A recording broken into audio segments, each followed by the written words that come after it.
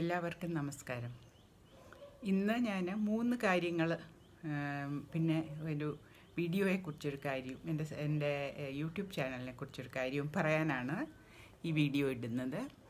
ഒന്നാമത്തെ കാര്യം കപ്പലണ്ടിയെക്കുറിച്ച് ഞാൻ പറഞ്ഞല്ലോ. കപ്പലണ്ടി കാഷ് ഗ്രൗണ്ട് നട്ട് പീനട്ട് എന്നൊക്കെ പറയുന്ന കടല എന്നും ഒക്കെ പറയുന്ന കപ്പലണ്ടി ഉപയോഗിക്കാം എന്ന് ഞാൻ പറഞ്ഞു.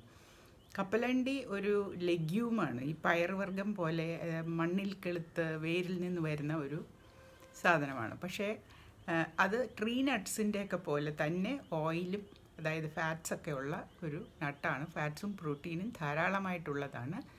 അത് ഉപയോഗിക്കുന്നതിന് ടെക്നിക്കലായിട്ട് യാതൊരു പ്രോബ്ലവും ഇല്ല. ബാക്കിയുള്ള ട്രീ നട്ട്സ് പോലെ തന്നെയാണ്. പക്ഷേ അതിൽ അത് കണ്ടമാനം കഴിക്കുന്നതിൽ നിന്ന് അതിൽ ഒളിഞ്ഞിരിക്കുന്ന ഒരു അപകടം അതിന് ഒരുതരം പൂപ്പൽ ബാധ ഉണ്ടാകാറുണ്ട് എന്നുള്ളതാണ്. നം പ്രോപ്പറായിട്ട് ഉണക്കി സ്റ്റോർ ചെയ്യാത്ത കപ്പലണ്ടി ഒരു തരം പൂപ്പൽ അതിൽ ബാധിച്ചിരിക്കുന്നതായിട്ട് കാണാം. പൂപ്പൽ ബാധിച്ച കപ്പലണ്ടിയിൽ വളരെ മാരകമായ ചില ടോക്സിൻസ് ഒക്കെ ഉണ്ടാകും. ആ ടോക്സിൻസ് നമ്മളുടെ ലിവറിന് ഹാംഫുള്ളാണ് അത് കഴിച്ച് മരിച്ചു പോകുകയൊന്നുമില്ല. കൊച്ചു കുട്ടികൾക്ക് അത് ലിവറിനെ ഹാം ചെയ്യും. പ്രായമായവരും അഡൾട്ട്സും അത് കണ്ടിന്യൂസ് ആയിട്ട് പൂപ്പലുള്ള കപ്പലണ്ടി കഴിച്ചാൽ അവർക്കും പ്രശ്നമുണ്ടാകും. അഫ്ലാടോക്സിൻ എന്ന് പറയുന്ന ഒരു തരം ടോക്സിനാണ് ഈ പൂപ്പലുള്ള കപ്പലണ്ടിയിൽ ഉണ്ടാകുന്നത്. അതുകൊണ്ട് കപ്പലണ്ടി ഉപയോഗിക്കുമ്പോൾ അതിനെ വളരെ സൂക്ഷ്മമായി പരിശോധിച്ചിട്ട് വേണം ഉപയോഗിക്കാൻ അതിനെ ടോസ്റ്റ് ചെയ്തോ റോസ്റ്റ് ചെയ്തോ വറുത്ത് ഇങ്ങനെ വറുത്തോ ഒക്കെ കുക്ക് ചെയ്യുമ്പോൾ അതിന്റെ ടോക്സിൻസ് കുറയും എന്നാലും പോവുകയില്ല. ആണ് ഉപയോഗിക്കേണ്ടത്. നാച്ചുറലായിട്ട് ക്ലീൻ ആയിട്ടുള്ള കപ്പലണ്ടിയിൽ ഇതൊന്നും ഗ്രൗണ്ട് നട്ട്സിൽ ഇതൊന്നും ഇല്ല. ഇത് നിലത്ത് നിന്നുണ്ടാകുന്ന ഒരുതരം പൂപ്പലായതുകൊണ്ടാണ് കപ്പലണ്ടിയിൽ ഇത് കൂടുതലായി കാണുന്നത്. ഈ നമ്മൾ ഉപയോഗിക്കുന്ന ബദാമിലും ഒക്കെ ഈ പൂപ്പൽ ബാധിക്കാം. പക്ഷേ കപ്പലണ്ടിയിൽ അതിന്റെ ചാൻസ് കൂടുതലാണ്. കാരണം ഇത് ഗ്രൗണ്ടിൽ നിന്നുണ്ടാകുന്നതായതുകൊണ്ടും രണ്ടും ഈ പൂപ്പലും ഈ നട്ടും ഗ്രൗണ്ട് നട്ടും ഗ്രൗണ്ടിൽ നിന്നുണ്ടാകുന്നതായതുകൊണ്ടാണ് അതിൽ ഈ പൂപ്പൽ സാധ്യത കൂടുതൽ. അത് ഒന്ന്. നമ്പർ ടു എന്ന് പറയുന്നത് ഈ തര നട്ട്സിലെല്ലാം ഈ തരത്തിലുള്ള ട്രീ നട്ട്സിലെല്ലാം ഞാൻ തേങ്ങ ഉദ്ദേശിക്കുന്നില്ല. ട്രീ നട്ട്സിലെല്ലാം ഒമേഗ സിക്സ് ഫാറ്റി ആസിഡ്സ് കൂടുതലായിട്ടുണ്ട്. ഈ അമേരിക്കൻസിന്റെ ഡയറ്റിൽ omega six to omega three ratio വളരെയധികം ഡിസ്റ്റോർട്ടഡ് ആയിട്ടുണ്ട്. അവർ ഈ സൺഫ്ലവർ ഓയിൽ കനോള ഓയിൽ പലതരം ഓയിലുകൾ ഉപയോഗിക്കുന്നത് കൊണ്ട് പലതരം സീഡ് ഓയിൽസ് ഉപയോഗിച്ചിട്ട് അവരുടെ ഒമേഗ ത്രീ കൺസംഷൻ കുറഞ്ഞ് കൺസംഷൻ കുറഞ്ഞില്ല. അത് സ്റ്റഡി ആയിട്ട് നിന്നാലും ഒമേഗ സിക്സിന്റെ കൺസംഷൻ കൂടുന്നത് കൊണ്ട് അതിന്റെ അനുപാതം മാറിപ്പോകുന്നു. അതും ഒരു ഹാംഫുൾ ഇഫക്റ്റ് ഉണ്ടാക്കുന്നു എന്ന് ഇപ്പോൾ ചിലർ പറയുന്നു. അതാണ് ഈ നമ്മളോടും ഈ ഗ്രൗണ്ട് നട്ട് ഓയിലും സൺഫ്ലവർ ഓയിലും ഒന്നും ഉപയോഗിക്കാതെ വെളിച്ചെണ്ണയും ഒലിവ് ഓയിലും ഒക്കെ ഉപയോഗിക്കണം എന്ന് പറയുന്നതിന്റെ കാരണം അതാണ്. വെളിച്ചെണ്ണയിൽ ഒമേഗ നയൻ എന്ന് പറയുന്നതാണ് കൂടുതൽ എന്നാണ് എന്റെ അറിവ്. ഇതിൽ ഒമേഗ ത്രീ ആസിഡ്സ് നമ്മളുടെ ശരീരത്തിന് വളരെ ആവശ്യമാണ്. നോൺ വെജിറ്റേറിയൻസിന് അത് മത്തി പോലെയുള്ള അയല മത്തി പോലെയുള്ള മത്സ്യങ്ങളിൽ നിന്ന് കിട്ടും. അല്ലെങ്കിൽ ഫിഷ് ഓയിൽ കഴിക്കുന്നതിൽ നിന്ന് കിട്ടും. അല്ലെങ്കിൽ ഫ്ലാക്സീഡ് സീഡ് ഞാൻ ആദ്യകാലത്ത് പറഞ്ഞിരുന്നു ഫ്ലാക്സീഡ് ഉപയോഗിച്ചാൽ ദിവസം ഒരു ഒരു ടേബിൾ സ്പൂൺ ഹോൾ ഫ്ലാക്സീഡിനെ പൊടിച്ച് ഏതെങ്കിലും ഭക്ഷണത്തിൽ കഴിച്ച് കലർത്തി കഴിച്ചാൽ അതിൽ നിന്നും ഒമേഗ ത്രീ ഫാറ്റി ആസിഡ്സ് കിട്ടും. പിന്നെ ചിയ സീഡ്സ് എന്ന് പറയുന്ന ഒരു സാധനം കിട്ടും. അതാണെങ്കിൽ വെള്ളത്തിൽ സോക്ക് ചെയ്ത് ബട്ട് ക്രീമോ പാലോ മിക്സ് ചെയ്ത് ഒരു പുഡിങ് പോലെ. അത് നമ്മുടെ കുൾഫിക്കകത്ത് ഇടുന്ന ഒരു സീഡുണ്ട് ബേസിൽ സീഡ്. അതുപോലെ തന്നെ കുതിർന്ന് കഴിയുമ്പോൾ അതിന്റെ ചുറ്റും ഒരു വെളുത്ത ഫ്ലഫി ആയിട്ടുള്ള ഒരു സ്ലൈമി സാധനം വന്ന് അത് വീർത്ത് ആ നമ്മൾ ഇച്ചിരി വെള്ളത്തിൽ കുതിർത്തും കുതിർത്തുമ്പോൾ ഇത് നിറഞ്ഞ് വരും. അപ്പോൾ അതിനകത്ത് നമ്മൾ ഇച്ചിരി ക്രീമും ഇച്ചിരി നമ്മുടെ സ്റ്റീവിയായോ വല്ലതും ഇട്ട് കഴി അതിന്റെ കൂടെ മുകളിൽ ഞാൻ കുറച്ച് എള്ളിടും. ഈ ക്രീമോ വല്ലതും കലർത്തിയിട്ട് ഇച്ച് ഒരു ഡ്രോപ്പ് ഞാൻ മോങ് ഫ്രൂട്ട് എക്സ്ട്രാക്റ്റ് ഇപ്പോൾ ഉപയോഗിക്കുന്നത്. സ്റ്റീവിയ ഉണ്ടായിരുന്നപ്പോൾ സ്റ്റീവിയ ഉപയോഗിക്കുമായിരുന്നു അത് ഇട്ടിട്ട് നമ്മൾ കുറച്ച് വെളുത്ത എള്ളിന്റെ സീഡ് നല്ല ടോസ്റ്റഡ് സീഡ് അതിന്റെ മുകളിലിട്ടിട്ട് കോരി അത് കോരി ഒരു ഐസ്ക്രീം പോലെ ഒരു ഡിസേർട്ട് പോലെ കഴിക്കാൻ നല്ല രുചിയാണ്. അങ്ങ് അതിനകത്തും ഒമേഗ ത്രീ ഉണ്ട്. അപ്പോൾ വെജിറ്റേറിയൻസിന് ഈ സീഡ്സ് ഒക്കെ ഉപയോഗിക്കാം. നോൺ വെജിറ്റേറിയൻസിന് മത്സ്യം ഉപയോഗിക്കാം. ഇങ്ങനെ ഒമേഗ ത്രീ ഒമേഗ സിക്സ് അനുപാതം തീരെ കുറഞ്ഞു പോകാതെ തീരെ മാറിപ്പോകാതെ ഒമേഗ ത്രീ ഭക്ഷണത്തിൽ ഉൾപ്പെടുത്തുവാൻ ശ്രമിക്കാം. അതാണ് ഒന്നാമത്തെ കാര്യം. രണ്ടാമത്തെ കാര്യം ഞാൻ പറഞ്ഞത് ചക്കയുടെ കാര്യമാണ്. ഈ ചെറിയ ചക്ക മൂപ്പെത്താത്ത തീരെ ചെറിയ ചക്ക തോരൻ വെച്ചൊക്കെ തോരൻ വെച്ചോ പുഴുങ്ങിയോ എങ്ങനെ വേണമെങ്കിലും കഴിക്കാമെന്ന് പറയുന്നതിന്റെ ഉദ്ദേശം ഇതാണ്. അത് മുഴുവനും നമ്മൾ അതിന്റെ ആ പുറത്തെ പച്ചത്തൊലി മാത്രമേ കളയേണ്ടതുള്ളൂ. ആ നടുക്കത്തെ സാധനം പോലും ഈ നോർത്ത് ഇന്ത്യൻസ് കൂട്ടാൻ വെക്കുമ്പോൾ മാറ്റാറില്ല. അപ്പോൾ ആ അത് മുഴുവനും അതിൽ നമ്മൾ പഴുത്ത ഒരു ചക്കയിൽ ഭക്ഷ്യോ ഭക്ഷിക്കുന്നത് അതിന്റെ സീഡും അതിന്റെ ചക്കച്ചുള എന്ന് പറയുന്നതുമാണ്. ഈ ഈ ഫലങ്ങൾ പഴുക്കും തോറുമാണ് അതിലുള്ള സ്റ്റാർച്ചസ് അതിന്റെ രൂപം മാറി മാറി ഷുഗേഴ്സ് ആയിട്ട് മാറുന്നത്. അതുപോലെ ഈ പച്ചയായിട്ടിരിക്കുന്ന ഈ ചക്കയുടെ എല്ലാ ഭാഗവും നമ്മൾ കഴിക്കുമ്പോൾ നമ്മൾ പ്രധാനമായിട്ട് കഴിക്കുന്നത് അതിന്റെ മടലും നമ്മൾ കഴി ചകിണി എന്ന് പറയുന്നതും ഇതൊക്കെയാണ് അതിന്റെ വോളിയം കൂടുതൽ. നമ്മളൊരു ചക്ക വെട്ടി പൊളിച്ച് അതിനകത്തുനിന്ന് അകത്തുനിന്ന് പഴം എടുത്ത് മാറ്റി കുരു എടുത്ത് മാറ്റി വെച്ച് നോക്കിയാൽ ചക്ക കുറവും ഈ മാതിരിയുള്ള സാധനങ്ങൾ കൂടുതലുമാണ്. അപ്പോൾ നമ്മൾ ഈ ചെറിയ ചക്ക കഴിക്കുമ്പോൾ സെല്ലുലോസ് ഈ ഈ മാതിരിയുള്ള സാധനങ്ങൾ സെല്ലുലോസാണ് സെല്ലുലോസ് നമ്മൾ ഡൈജസ്റ്റ് ചെയ്യുന്നില്ല. അതെല്ലാം നമ്മൾ പുറന്തള്ളുകയാണ് ചെയ്യുന്നത്.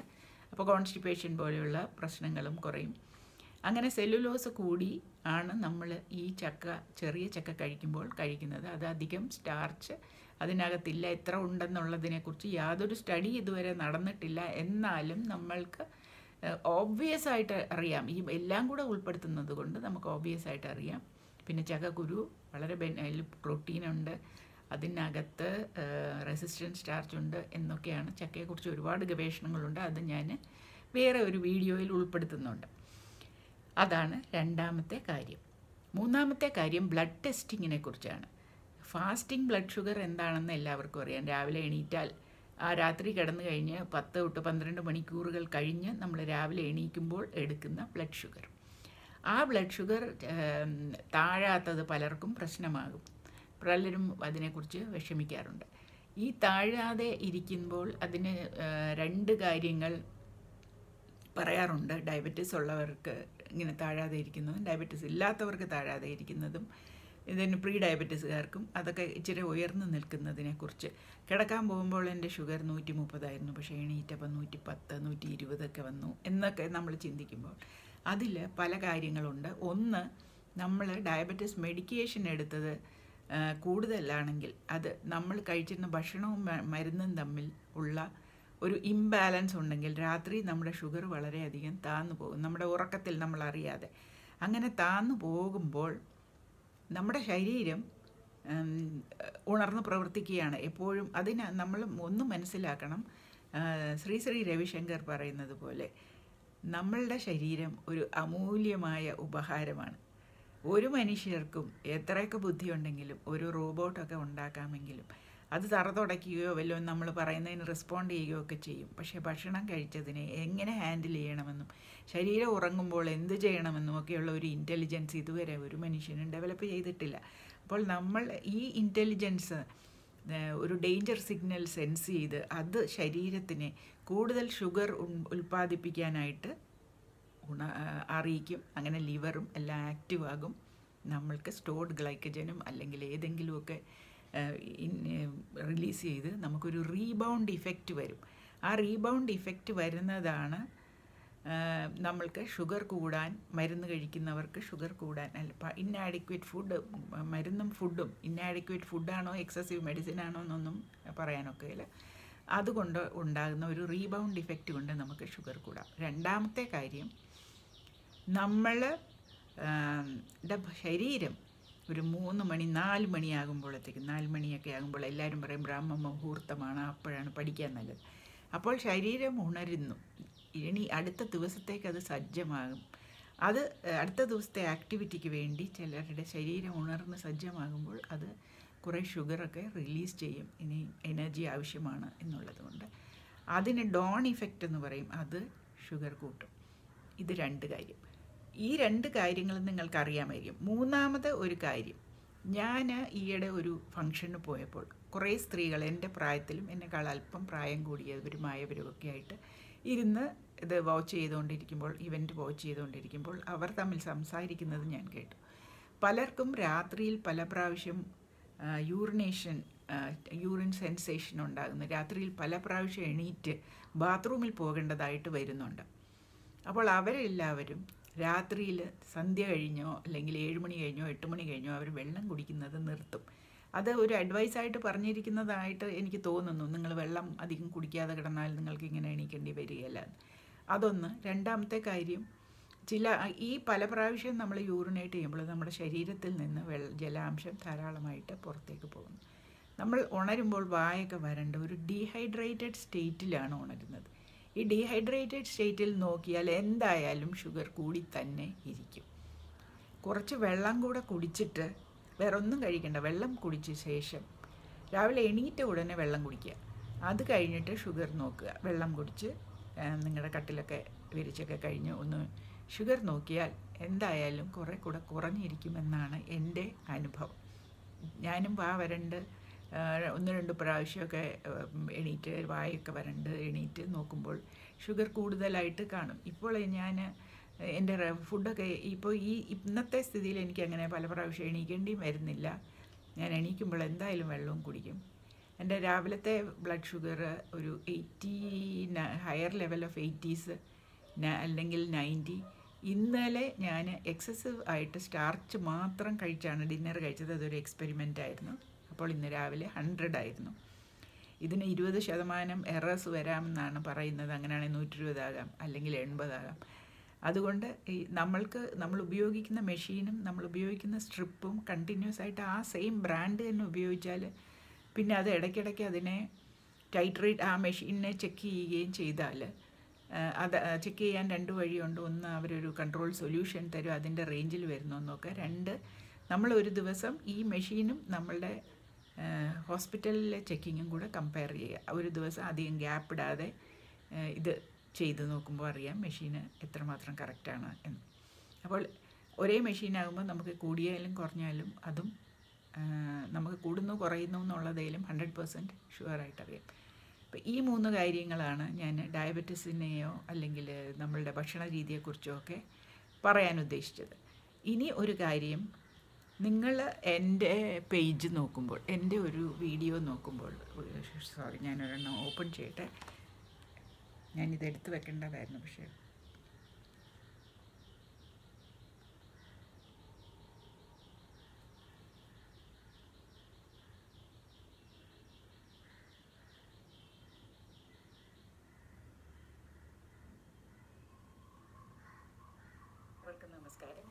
നിങ്ങൾ എന്റെ ഒരു വീഡിയോ കാണുമ്പോൾ അതിന്റെ സൈഡിൽ ഒരു ഇങ്ങനെ ഒരു പച്ച സർക്കിൾ കാണും. ഈ ഇതിൽ നിങ്ങൾ ക്ലിക്ക് ചെയ്യുകയാണെങ്കിൽ നിങ്ങൾ എന്റെ യൂട്യൂബ് പേജ് യൂട്യൂബ് ചാനലിലേക്ക് പോകും.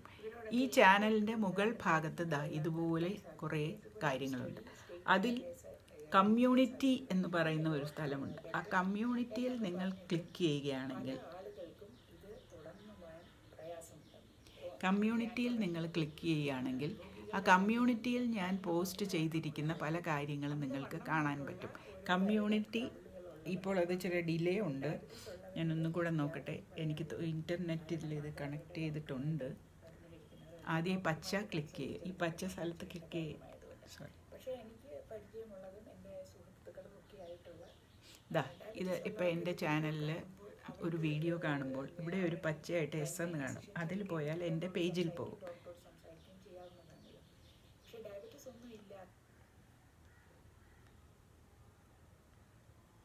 ഇതിൽ ഈ പേജിൽ പോകുമ്പോൾ ഇവിടെ ഹോം വീഡിയോസ് വീഡിയോസിൽ ക്ലിക്ക് ചെയ്താൽ എല്ലാ വീഡിയോ ഒരു പ്ലേലിസ്റ്റ് ഞാൻ ചുമ്മാ കാണുന്ന വീഡിയോസിനെ കുറിച്ചൊക്കെ വരും.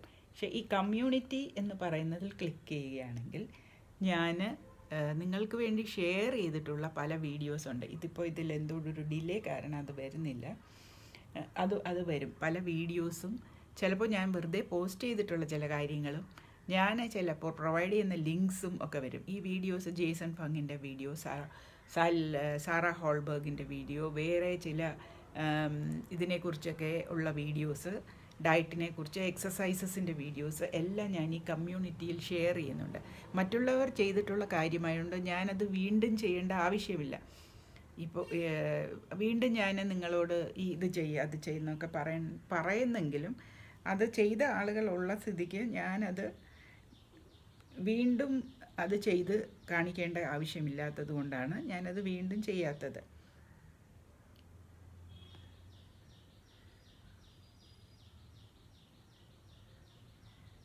ഇത് എന്റെ ഐപാഡിൽ കിട്ടുകയില്ല കമ്മ്യൂണിറ്റി പോസ്റ്റ് എന്റെ മൊബൈലിലേ കിട്ടുള്ളൂ. നോക്കട്ടെ ഞാൻ എന്റെ മറ്റേ മൊബൈലിൽ ഒരു മിനിറ്റ് സോറി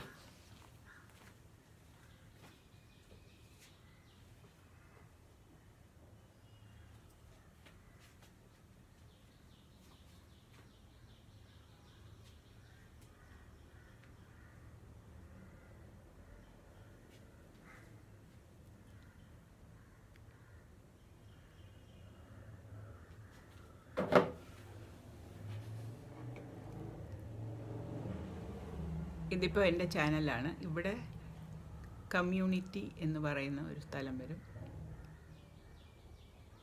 കമ്മ്യൂണിറ്റിയിൽ ക്ലിക്ക് ചെയ്യുമ്പോൾ ഞാൻ ഷെയർ ചെയ്തിട്ടുള്ള വീഡിയോസ്. ഈ കമ്മ്യൂണിറ്റിക്ക് വേണ്ടി ഞാൻ ഷെയർ ചെയ്തിട്ടുള്ളതാണ്. The science behind low carb Jason ഫങ്ങിന്റെ ഒരു വീഡിയോ ആണ്. ഇത് ഞാനാണ് സയൻസ് ബിഹൈൻഡ് ലോ കാബ് എന്ന് ഇട്ടിരിക്കുന്നത്. ജേസൺ ഫങ് സെവൻ മിനിറ്റ് എന്ന് പറഞ്ഞ് പിന്നെ ഇവിടെ ഒരു പാട്ട് ഇതാണ് ഒരു മണിക്കൂറിന്റെ ഒരു ബൈന്യൂറിയൽ ബീറ്റ്സ് എന്ന് പറയുന്നത്. ഒരു റിലാക്സേഷൻ മ്യൂസിക്കാണ്. പിന്നെ ദ ഫ്രുക്ടോസ് വേഴ്സസ് ഗ്ലൂക്കോസ്. ചക്കക്കുരുവിന്റെ ഇപ്പോഴത്തെ വില ഡി ലൈഫ് ഞാൻ ഷെയർ ചെയ്യുന്ന D life Sally ഹോൾബ് Sarah Hallberg exercise number one exercise for diabetics ഇങ്ങനെയുള്ള കുറേ കാര്യങ്ങൾ നിങ്ങൾ ആ കമ്മ്യൂണിറ്റിയിൽ ഇത് മൊബൈലിൽ കിട്ടുക ഐപാഡിൽ കിട്ടുകയല്ല. കമ്മ്യൂണിറ്റിയിൽ കമ്പ്യൂട്ടറിൽ കിട്ടും. കമ്മ്യൂണിറ്റി എന്ന് യൂട്യൂബിന്റെ ലേറ്റസ്റ്റ് വേർഷൻ ഡൗൺലോഡ് ചെയ്താൽ കിട്ടും. അപ്പോൾ ഈ കമ്മ്യൂണിറ്റി എന്നുള്ള ഇത് നിങ്ങൾ കാണണം. അപ്പോൾ നിങ്ങൾക്ക് താല്പര്യമുണ്ടെങ്കിൽ കണ്ടാൽ മതി. അതിന്റെ എന്റെ ഓരോ ചില വീഡിയോയുടെ ഡിസ്ക്രിപ്ഷൻ ബോക്സിൽ ഞാൻ എനിക്ക് ചില ലിങ്ക്സൊക്കെ പ്രൊവൈഡ് ചെയ്തിട്ടുണ്ട്. എല്ലാത്തിലും ഒന്നുമില്ല. പക്ഷേ എനിക്ക് ഞാൻ ഒരു വീഡിയോ കണ്ട് അത് വാല്യുബിൾ ആണ് എന്ന് തോന്നിയാൽ അത് ഞാൻ ആ കമ്മ്യൂണിറ്റിയിൽ ഷെയർ ചെയ്യും. അതുകൊണ്ട് നിങ്ങൾ കമ്മ്യൂണിറ്റി ഓപ്പൺ ചെയ്യാനായിട്ട് മടിക്കണ്ട. അത് ഓപ്പൺ ചെയ്ത് നോക്കണം. അതിൽ നിങ്ങൾക്ക് താല്പര്യമുള്ള വീഡിയോസ് കാണണം. എന്നെക്കാളും നന്നായിട്ട് പ്രസന്റ് ചെയ്ത വീഡിയോസാണ് അതൊക്കെ. കാരണം അത് ഡോക്ടേഴ്സോ അല്ലെങ്കിൽ പ്രൊഫഷണൽ ഫിറ്റ്നസ് എക്സ്പേർട്സോ ഒക്കെ ചെയ്യുന്നതാണ്. അപ്പോൾ ഇത്രയുമാണ് ഞാൻ ഇന്ന് പറയാൻ ഉദ്ദേശിച്ചത്. നിങ്ങൾക്ക് ഉപകാരപ്പെടും എന്നുള്ള ആഗ്രഹത്തോടെ നന്ദി നമസ്കാരം.